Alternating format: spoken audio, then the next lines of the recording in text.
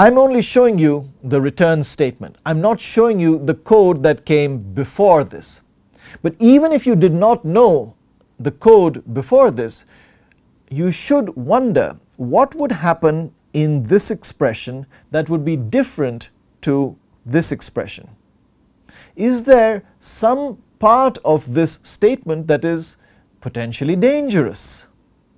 Well, we have seen that dividing by 0 is a problem. Right? Now, what if m happened to be 0? Maybe the previous code actually checked for that and this is not a worry. But we don't know what that previous code is. Just looking at this code, we should imagine what if m was 0. If m was 0 and we evaluated this condition, it would be false.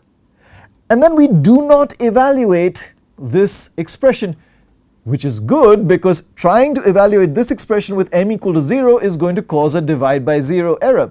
So we would take advantage of short circuiting knowing that Python is short circuiting the AND and this piece of code is perfectly safe. It will not divide by 0 because the only way we will get to this second expression is if the first expression is true. It's only then we will evaluate. As soon as the first expression is false, we will no longer be evaluating it. So as long as m is greater than 0, we will come here and then we will divide and then it's okay to divide because m is not 0, it's positive. In contrast, if m was 0 and we hit this expression, we would do a divide by 0 and this code would crash because of the division by 0.